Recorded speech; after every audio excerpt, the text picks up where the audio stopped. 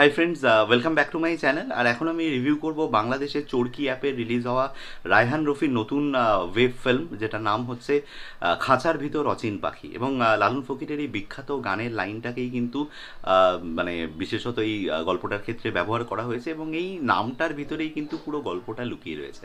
তো চলো রিভিউ করব এই পার্টিকুলার কন্টেন্টটার এবং তার আগে একটা কথা তোমাদের বলি যে ভিডিওটাকে শুরু থেকে শেষ পর্যন্ত দেখো। আর যদি ভালো লাগে তাহলে চ্যানেলটাকে সাবস্ক্রাইব করতে ভুলো না। তো দেখো, রায়হান রফি এমন একটা নাম বাংলাদেশের মানে সিনেপ্রেমীদের কাছে এবং আমি পার্সোনালি খুব ডিটেলে ওনাকে ফলো করি। ওনার মানে যে কটা সিনেমা উনি তৈরি করেছেন বা ওয়েব ফিল্ম বা ওয়েব সিরিজ যেগুলো উনি তৈরি করেছেন। তো প্রত্যেকটা কাজের মধ্যে কিন্তু একটা বলতে পারো যে একটা স্বকীয়তা রয়েছে এবং প্রত্যেকটা কাজ কিন্তু একটার থেকে একটা আলাদা।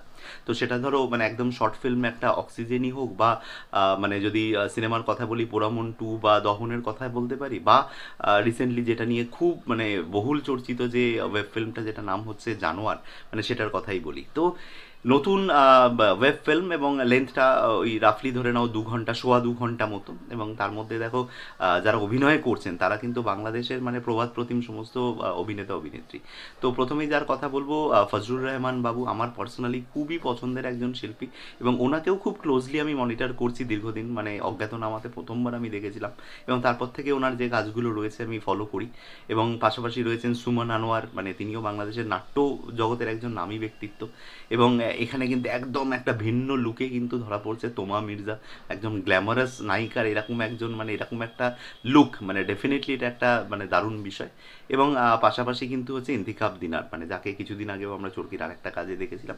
এবং মানে এরকম একটা স্টার কাস্ট বাট সব থেকে বড় যেটা, সেটা হচ্ছে যে, এখানে কন্টেন্ট ইজ দ্য কিং মানে যে গল্পটা মানে যে প্লটটা সাজানো হয়েছে, সেটাই হচ্ছে এখানে কিন্তু মূল।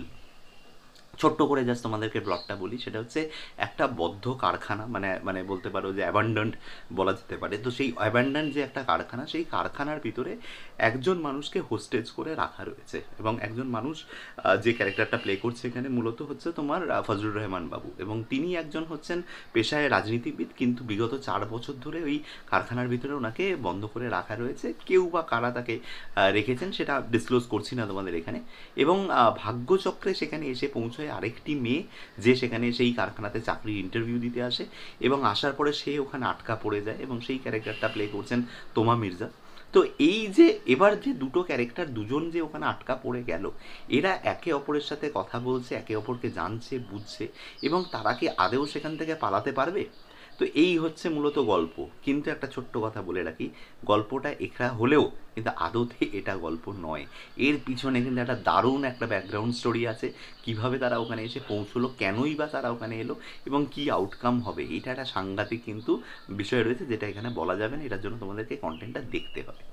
এবার চলে আসি পারফরমেন্সের কথায় পারফরমেন্সের কথায় যেটা ফার্স্ট বলব, তোমা মির্জা অসাধারণ। মানে এই মানে পার্টিকুলার ওয়েব ফিল্মে আমি দেখলাম যে এত সুন্দর অভিনয় করেছে এবং পুরো ওর গেট আপটা চেঞ্জ করে দিয়েছে, একদম একটা নন গ্ল্যামারাস লুক সেখান থেকে ও যেভাবে রোলটা প্লে করেছে and specially the last scene মানে যখন ও মানে অজ্ঞান, অচৈতন্য অবস্থায় পড়ে থাকবে মানে দ্যাট ইজ ট্রিমেন্ডাস আমার দুর্ধর্ষ লেগেছে জিনিসটা।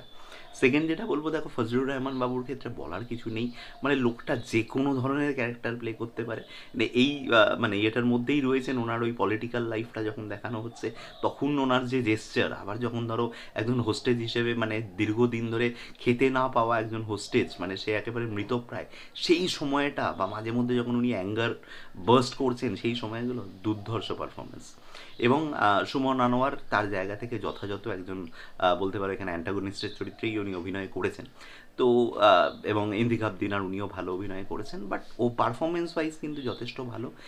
পজিটিভ সাইড যদি বলতে হয়, সেটা হচ্ছে positive side definitely the story line এবং এত সুন্দর লেখা হয়েছে গল্পটা।